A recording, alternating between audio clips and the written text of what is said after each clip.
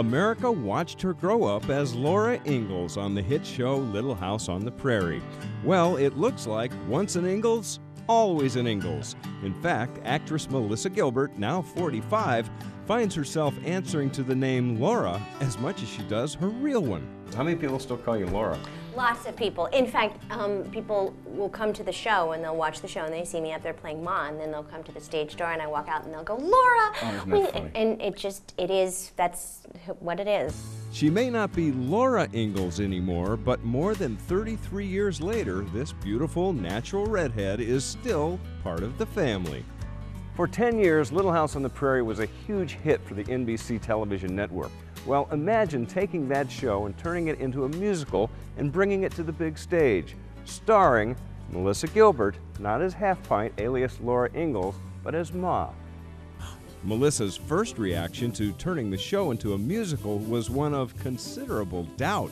My manager called me and I said, "N- Are you kidding me? You can't make this into a musical. And, um, you know, once I got it all out of my system, he said, Are you calm now? And I said, Yes. He said, Okay, will you please just read it and listen to the music and meet with this producer? And I did, and I immediately, you know, upon hearing the music and, and reading the book, the script, I said, Absolutely, absolutely, I will do this. And I met with Ben and I was, I was hooked. The stage production is quite grand and very fast paced. Melissa manages to keep up but admits she has taken her lumps. The show looks exhausting. I mean, just absolutely must wear you out. It is. I'm, I, I must say, I've, and I've said to people a lot, I, I can't believe I didn't do this at 25 and I'm doing it at 45. Seriously. Uh, it, it's, it's a lot to do. It's very physical. Um, I am covered in bruises all the time. Bruce calls me the Dalmatian because I'm literally, I'm spotted in bruises all over. You'd have to be. I've herniated two discs in my back. I've had pneumonia. Losing her adoptive father at an early age, Melissa became very close with Little House co star Michael Landon. She joined the Landon family for weekends and vacations. She was devastated when he died of pancreatic cancer in July of 1991. And now, playing opposite his character as Ma, Melissa admits it can be emotional. I, I have nothing but fond memories of Michael, and the only time that it really comes is when I'm standing in the wings, thank goodness, because it doesn't really hit me on stage much. When I'm standing in the wings and I watch Steve with um, Megan Campanile, who's playing Laura here, um, he has a, a song that he sings to her in the opening of the show, and it's just the perfect father daughter moment, which we had so many of on the television series, and we had so many off camera. That's sometimes when I get a little melancholy. When Gilbert and husband Bruce Boxleitner's son was born in 1995, they named him Michael in Landon's honor. And while their other older sons are not in showbiz, Michael is following in his famous parents' footsteps. In this case, literally.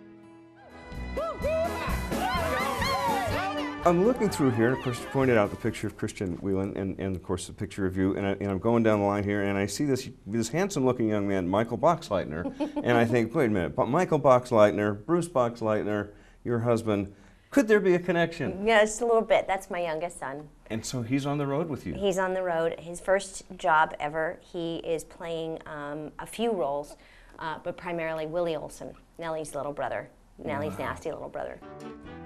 With dozens of commercials, TV projects, and movies to her credit, Melissa has been blessed with great success, and she's found a way to give back through one of her favorite charities, Habitat for Humanity. You have a show tonight, but tomorrow, do I understand you- you're very involved with Habitat for Humanity?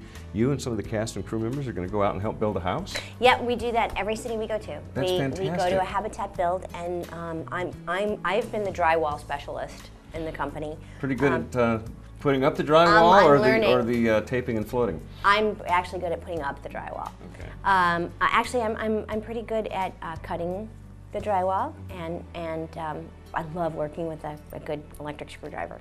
That's another story for another show.